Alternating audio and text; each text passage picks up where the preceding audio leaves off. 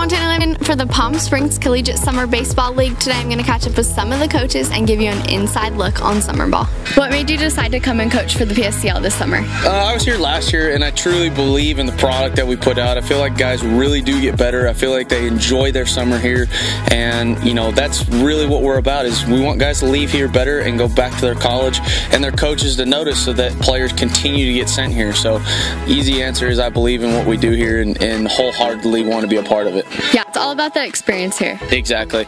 Guys are going to get a ton of innings. You know, it's great for guys that might have redshirted, got hurt, um, didn't play as much. They can come in, get the reps, get caught back up, and then of course work with the great coaching staff that we have. We have 10 coaches that are amazing that all come from different walks of baseball, but obviously are all here for a reason. So those guys definitely make the summer worth it. Coach, what do you want potential players to know about the PSCL?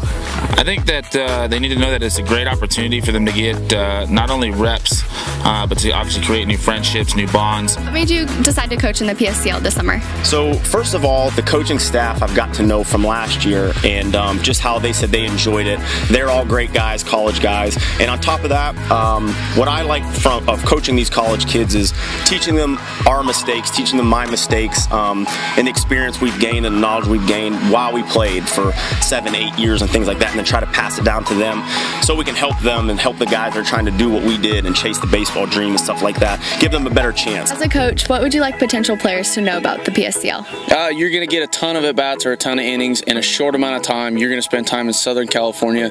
Um, it really does not get any better than that. This is your second year here with the PSCL. Tell me, why do you continue to come back every single summer?